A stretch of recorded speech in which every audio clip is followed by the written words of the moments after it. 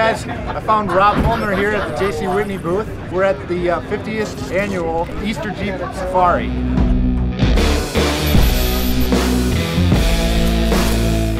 What's your experience been like so far here in Moab?